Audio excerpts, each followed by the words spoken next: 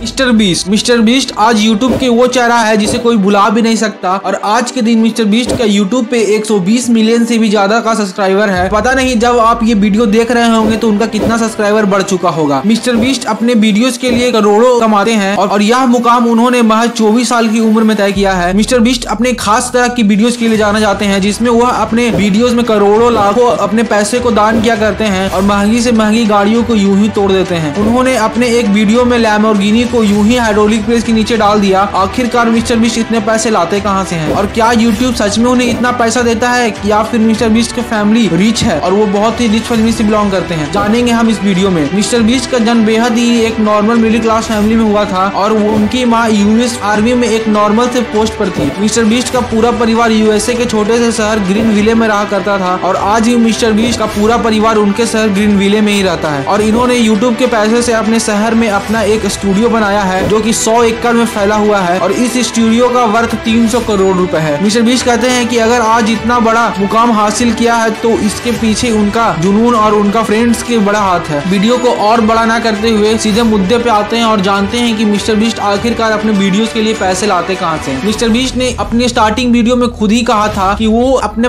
video में पैसे sponsor की मदद से लाते हैं और जो उन्हें स्पॉन्सर करता है वो उस स्पॉन्सर के पैसे से इक्विपमेंट्स और नहीं तो उसे वीडियोस में ही लगा देते हैं वो अपने पैसों को रखते नहीं है और कहते हैं कि वो अपना ज्यादातर पैसा दान ही कर देते हैं अगर आपको मिस्टर बीस का ये कहानी अच्छा लगा तो इस वीडियो को लाइक करके चैनल को सब्सक्राइब करें और हमसे जुड़े रहने के लिए बेलाइकन को जरूर क्लिक करें